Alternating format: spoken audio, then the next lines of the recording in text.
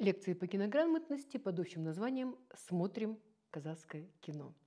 Фильм «Отау» Алишера Жадигерова. Когда я первый раз посмотрела картину «Отау», я невольно вспомнила о фильме «Конечная остановка» Серика Апрымова.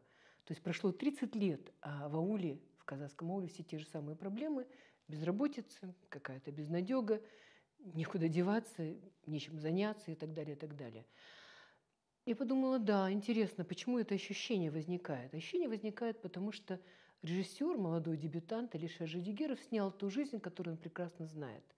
И при нашей встрече он как-то рассказал, что вот это обидно, что он несколько лет провел в городе, а когда приехал к себе в аул, то понял, что молодежь, в общем-то, где-то как-то неприкаянна и особенно не имеет целей и, в общем-то, не может найти работу и так далее, и так далее. То есть социальная драма, которая основана на реальности, то есть жизнь его аула легла в основу этой картины «Атау».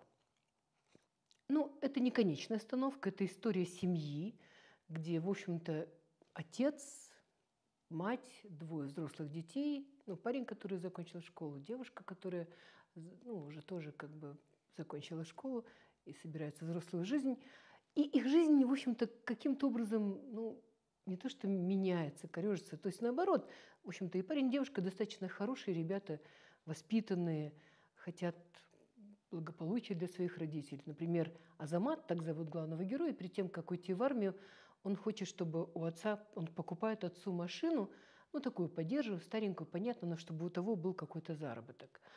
А девушка, в общем-то, оказывается так нечаянно обманута, оказывается беременной и парень не собирается не жениться. В общем-то, ее как бы насильно выдают замуж за человека, который старше ее, и она, в общем-то, оказывается такой пленницей, ну или, скажем, жертвой системы уят, когда стыдно и так далее, и так далее. То есть, и в принципе, отец где-нигде не работает, мать нигде не работает, то есть такая какая-то, ну, безнадежная, что ли.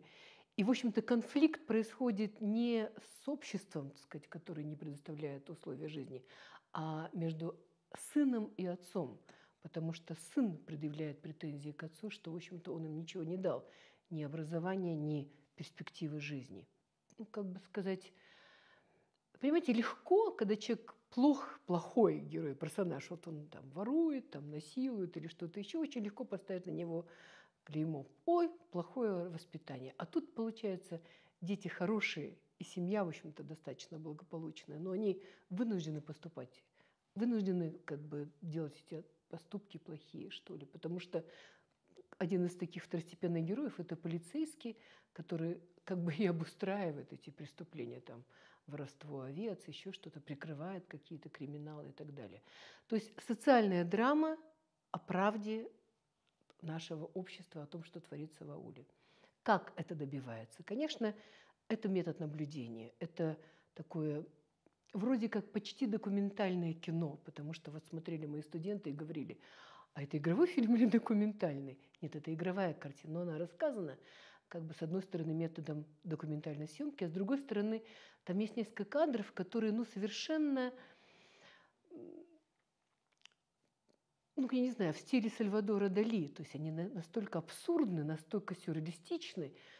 Не, не потому, что там, я не знаю, как у Дали, там, слон или какие-то огромные очки. Нет, это природа, это пейзаж.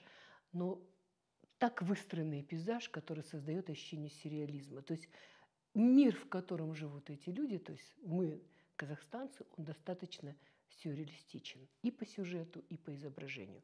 Хочется особо отметить оператора Садбека Улана, потому что это его, по-моему, дебютная работа, но картина снята очень интересно.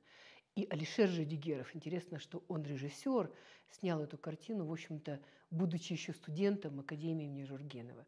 А главную роль сыграл Азамат, его брат, который вообще не является профессиональным актером. Интересная история создания этой картины.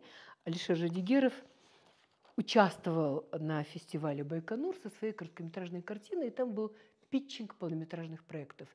И вот этот питчинг картины, и вот этот проект на питчинге так понравился, что одна из организаторов фестиваля Байконур, продюсер Анна Аржунусова, решила поддержать и нашла как бы финансирование, профинансировала эту картину «Отау». Таким образом, у нас совершенно неожиданно появился новый, очень интересный артхаусный режиссер, мы узнали новое, имя нового интересного оператора. Вообще какая-то вот такая творческая группа, которая может снимать кино на уровне конечной остановки Серика Апрымова.